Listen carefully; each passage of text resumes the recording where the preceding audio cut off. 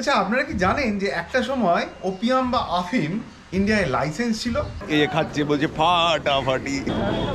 What juicy hmm really good আচ্ছা hakka chowmein বা noodles তো আমরা সবাই খাই কিন্তু হাক্কা যে অ্যাকচুয়ালি একটা চাইনিজ সম্প্রদায়ের নাম সেটা কি আপনারা জানতেন? আচ্ছা এটা কি আপনারা জানেন যে অছিপুর যে অছিপুরকে আমরা ভীষণভাবে চিনি জানি সেটা একজন চাইনিজের নামে?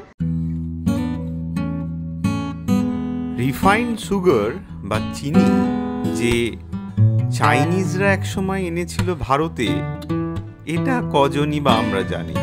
হ্যাঁ মজার বিষয় হলো কলকাতার বুকে ওল্ড চায়না টাউনের সূচনা এখান থেকেই ঘটে। কীভাবে? সেটাই তো জানব এবারে। দেখতে থাকুন তাহলে।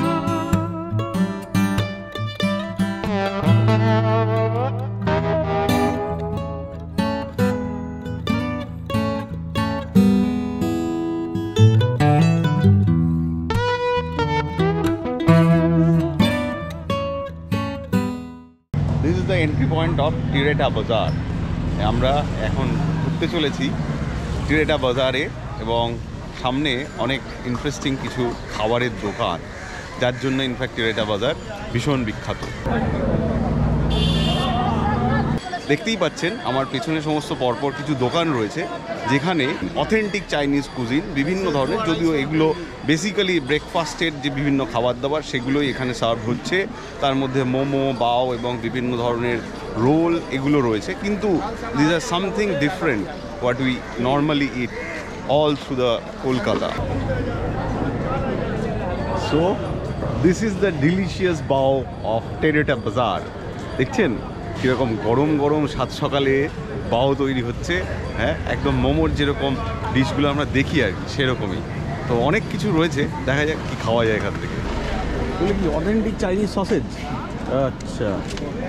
So this is the authentic Chinese sausage দেখেই কীরকম একটা অস্বস্তি হচ্ছে যদিও খাওয়া যাবে চাপে হ্যাঁ। বেসিক্যালি এখানে ব্রেকফাস্টের ফুড আইটেম হিসেবে পাওয়া অনেক কিছুই যায়। কিন্তু এক্সপেরিমেন্ট করতে গিয়ে যদি কেস খেয়ে যাই সেই জন্য এরকম কিছু করছি না। আমাদের ভীষণ পরিচিত যে মোমো, সেই চিকেন মোমোই এখানে আপাতত খাওয়া হচ্ছে। দেখা যাক কেমন লাগে এখানকার chicken momo.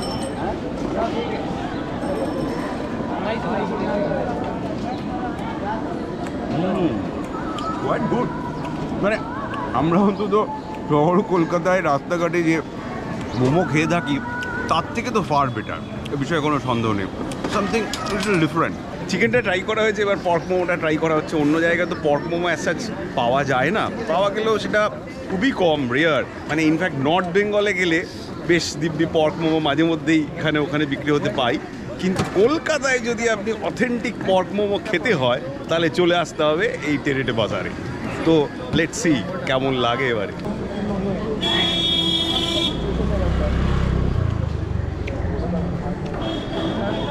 What juicy really good এবং বেশ অন্যরকম। দারুণ দারুণ। এই জন্যই তো আসতে হবে টেরিডে বাজারে। যদি অথেন্টিক পর্ক মোমো খেতে হয়, চলে আসুন। একদম ভাববেন না, ভোরবেলায়, রবিবার বা শনিবার চলে আসুন, বাস। আলাদাই একটা সকাল কাটাতে পারবেন।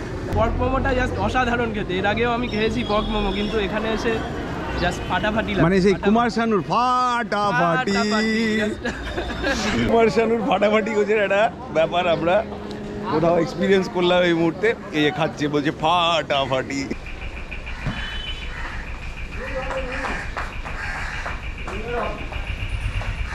এই মুহূর্তে আমি দাঁড়িয়ে রয়েছি এই অঞ্চলের বেশ পুরনো এক বিখ্যাত চাইনিজ রেস্টুরেন্ট সেই ভুইয়ের সামনে। যেখানে আপনারা ভীষণ অথেন্টিক কিছু চাইনিজ কুজিন ট্রাই করতে পারেন। সো এইভাবে আমরা উদ্ধার করছি সমস্ত চাইনিজ ল্যাঙ্গুয়েজ গুগল লেন্স মাধ্যমে।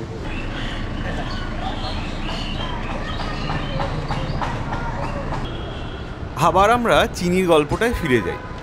সে আঠেরোশো শতাব্দীতে first British governor general Warren হেস্টিংসের সময় টং ওছি নামে একজন চীনা ব্যবসায়ী, তিনি কলকাতা থেকে অনতি দূরে বজবজের কাছে, যার নামে ইনফ্যাক্ট ওছিপুর জায়গাটির নামাঙ্কন, তো সেই ওছিপুরে তিনি একটি সুগার মিল স্থাপন করেন। এবং সেই সুগার মিলে কাজ করার জন্য সুদূর চায়না থেকে বহু মানুষ সেখানে আসেন এবং তারা সেখানে থাকা শুরু করেন। কিছুদিনের মধ্যে যদিও এই টং ওছি তিনি মারা যান এবং সেই চাইনিজ মানুষজনই তারা ক্রমশ স্থানান্তরিত হন লালবাজার সংলগ্ন তিরেটা বাজার এলাকায় এবং এভাবেই গোড়াপত্তন হয় ওল্ড চায়না টাউনে আর এই চীনা মানুষজনের হাত ধরেই যেহেতু রিফাইন্ড সুগারের সাথে পরিচিতি লাভ ভারতবর্ষের, সেই জায়গা থেকেই সারা ভারতে এই সুগার চিনি নামে পরিচিত হয়ে যায়। কি মজার না গল্পটা?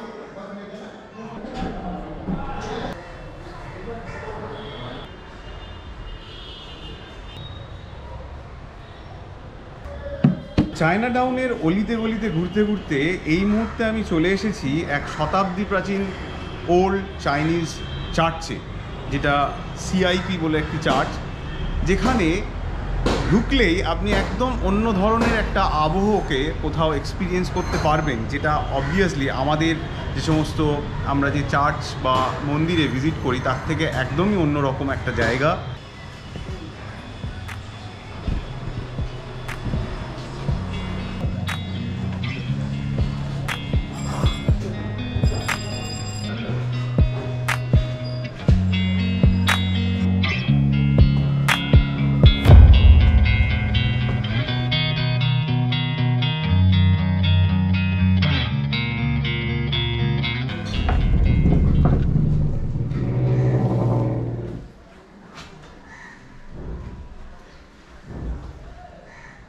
আমি এই মুহূর্তে দাঁড়িয়ে রয়েছি চেনকুয়ো স্কুল, একটা চাইনিজ স্কুলে, যেটা কিনা ওল্ড চায়না টাউনের একটা শতাব্দী প্রাচীন মন্দিরে রান করে। আঠেরোশো শতাব্দীতে ভেনিস থেকে একজন ইটালিয়ান, এডিয়ার্ডো টেরেটা, যিনি এই অঞ্চলে এসেছিলেন, তিনি একজন ল্যান্ড সার্ভেয়ার এবং ওনার ছিলেন, যার এই অঞ্চলে অনেক অ্যাসেট ছিল বা জমি জমা ছিল এবং তার নামেই এই জায়গার নাম হয়ে ওঠে টেরেটা বাজার, যেটা আমরা এখন কলোকিয়ালি টেরিটি বাজার বলে জানি অ্যাকচুয়ালি হাক্কা চাউমিন বা নুডলস তো আমরা সবাই খাই, কিন্তু হাক্কা যে অ্যাকচুয়ালি একটা চাইনিজ সম্প্রদায়ের নাম, সেটা কি আপনারা জানতেন? এক্স্যাক্টলি মজার বিষয়টা এটাই যে এই ওল্ড চায়না টাউনের যে মানুষজন, তাদের একটা বড় অংশ তারা হাক্কা ভাষাভাষী সম্প্রদায়ভুক্ত। সাউদার্ন চায়নার একটা বৃহত্তর অংশের মানুষ তারা এই হাক্কা ল্যাঙ্গুয়েজে কথা বলেন এবং সেই জায়গার মানুষই মূলত আঠেরোশো কুড়ি সাল নাগাদ অ্যাজ পার দ্য রেকর্ড বলছে, যে ফার্স্ট ইমিগ্রেশনের ঘটনা সেই সময় ঘটে এবং সেই সময় থেকে শুরু করে আস্তে আস্তে এখানে প্রচুর চাইনিজ কমিউনিটির মানুষজনরা ভিড় করেন এবং সেই সংখ্যাটা গিয়ে দাঁড়ায় প্রায় কুড়ি হাজার। যদিও এই হাক্কা সম্প্রদায়ের বেশিরভাগ মানুষজনই এখন চলে গিয়েছেন ট্যাংরা অঞ্চলে, যেখানে কিনা আমরা অথেন্টিক চাইনিজ কুজিনের ডেলিকেসি এক্সপিরিয়েন্স করতে বেশিরভাগ ক্ষেত্রে যাই, সেই চায়না টাউন মানে এখনকার যে কলকাতার যে চায়না টাউন সেখানে এইখানকার মানুষজনরা এখন আস্তে আস্তে গ্র্যাজুয়ালি শিফটেড হয়ে গিয়েছেন। এবং এই অঞ্চলের চাইনিজ কমিউনিটির এখন সংখ্যা অ্যারাউন্ড টু থাউজেন্ড এরকম একটা জায়গায় এসে ড্রপ ডাউন করে গিয়েছে। বিফোর ইন্ডিপেন্ডেন্স এই ওল্ড চায়না টাউনে যেখানে আমি দাঁড়িয়ে রয়েছি, এখানকার মানুষজন বিভিন্ন যে সমস্ত ব্যবসার সাথে যুক্ত ছিল বা যে বিভিন্ন পেশার সাথে যুক্ত ছিল, তার মধ্যে অন্যতম ছিল আফিম ব্যবসা। এখানে বেশ কিছু লাইসেন্সড আফিমের দোকান বা শপ ছিল সেই সময় এবং এখানকার মেজরিটি অফ পিপল এই হাক্কা চাইনিজ কমিউনিটি যাদের কথা আমি বলছিলাম, তারা রেস্টুরেন্ট বিজনেস এবং tannery as well as carpentry এই দুটো পেশার সাথে ভীষণভাবে যুক্ত ছিল। যারা এই মুচির কাজ বা চামারের কাজ করত, সেই সম্প্রদায়ের মানুষজনকে সমাজে খুব নিচু চোখে দেখা হতো। তো মূলত উচ্চবর্ণের হিন্দু মানুষজন, তারা এই ধরনের চামড়ার কাজ বা মুচির কাজ এগুলো তারা করতে চাইতেন না।